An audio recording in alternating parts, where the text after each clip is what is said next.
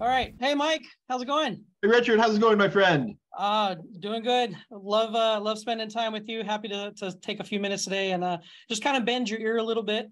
Uh, wanted to touch base and ask you a couple of questions. You have spent so much time over the years helping people get their certifications and get into the job market as well. Security Plus is one that's kind of a focus in our program. And uh, obviously, it's kind of like a baseline certification to help people get started in cybersecurity. What are your thoughts on that? And how do you think that helps individuals get into the job market? Well, I got to tell you, Richard, uh, I uh, I had many suitors come before National Cyber Group and CyberNow Labs came knocking on my door, and uh, what you guys do is so critically important to our industry. Look, I'm a certification trainer, okay? I teach people entry level certifications, which because of demand right now, people can get jobs. Now, granted, you have to work at it a little bit. You got to get on LinkedIn and, you know, do your set up your resumes and get all that taken care of. But I have had a successful track record of getting people jobs with more basic uh, certifications. Mm-hmm. The problem is, is I can't ever get you past basic.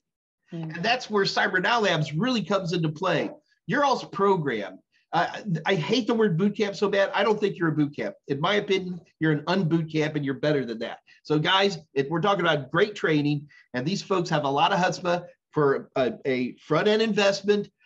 And uh, if you're the type of person who has the ambition and the drive and the hunger.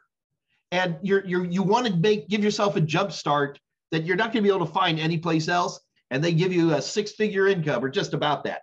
I'm telling you now if you've got a security plus certification you need to be jumping over to cybernow labs today Love it. Well, listen, I'm, I'm happy to hear you say that. We actually happen to have uh, an info session coming up here shortly that is going to uh, let individuals who already have their Security Plus know about our hands-on program and the fact that they can actually join our program that's already in progress.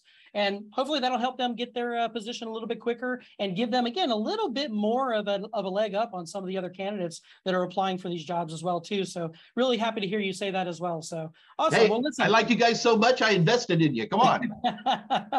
well, that's a good thing. That's good to hear. So listen, well, listen, I know you're busy. I don't want to take up much more of your time. Thank you so much for being with me today. Fantastic seeing you again. And have a great rest of the day. We'll talk to you soon.